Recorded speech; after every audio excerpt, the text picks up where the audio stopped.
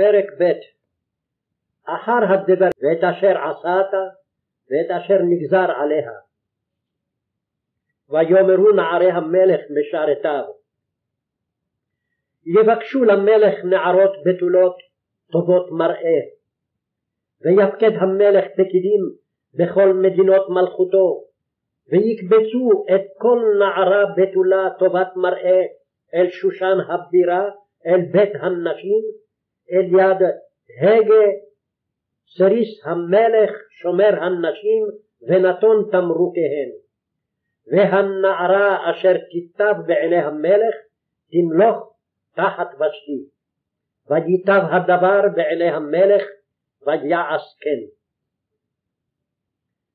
איש יהודי היה בשושן הבירה ושמו מרדכי בן יאיר בן שמעי בן קיש איש ימיני. אשר הוגלה מירושלים עם הגולה, אשר הוגלתה עם יחוניה מלך יהודה, אשר הגלה נבוכדנצר מלך בבל. ויהי אומן את הדסה היא אסתר בת דודו, כי אין לה אב ואם, והנערה יפת תואר וטובת מראה, ובמות אביה ואמה לקחה מרדכי לו לבת. ויהי בהישמע דבר המלך ודתו, ובהתקבץ נערות רבות אל שושן הבירה אל יד הגיא, ותילקח אסתר אל בית המלך אל יד הגיא שומר הנשים. ותיטב הנערה בעיניו, ותישא חסד לפניו, ויבהל את תמרוקיה ואת מנותיה לתת לה. ואת שבע הנערות הראויות לתת לה מבית המלך, וישניה ואת נערותיה לטוב בית הנשים. לא הגידה אסתר את עמה ואת מולדתה, כי מרדכי ציווה עליה אשר לא תגיד. ובכל יום ויום מרדכי מתהלך לפני חצר בית הנשים לדעת את שלום אסתר ומה יעשה בה.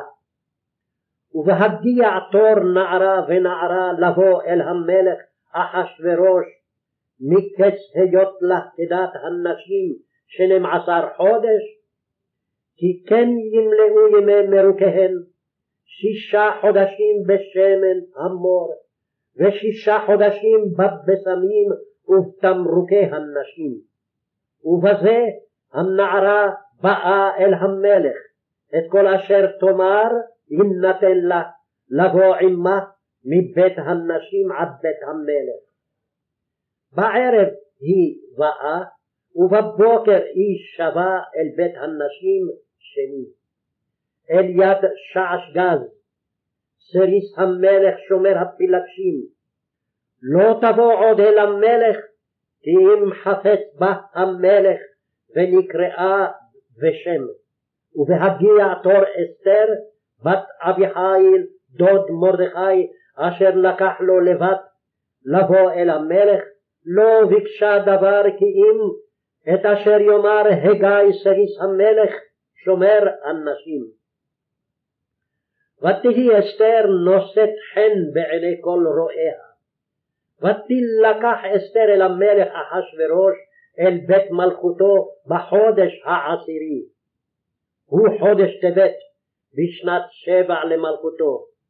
ויאהב המלך את אסתר מכל הנשים, ותישא חן וחסד לפניו מכל הבתולות. וישם כתר מלכות בראשה, וימליכיה תחת ושתי. ויעש המלך משתה גדול לכל שריו ועבדיו את משתה אסתר, והנחה למדינות עשה וייתן משאת כיד המלך. ובהתכווץ בתולות שנית, ומרדכי יושב בשער המלך. אין אסתר מגדת מולדתה ואת עמה, כאשר ציווה עליה מרדכי, ואת מאמר מרדכי אסתר עושה כאשר הייתה ואומנה איתו.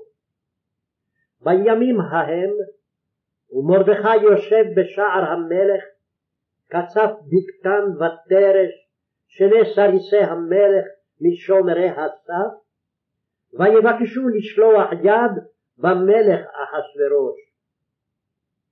ויתוודע הדבר למרדכי, ויגד לאסתר המלכה, ותאמר אסתר למלך בשם מרדכי.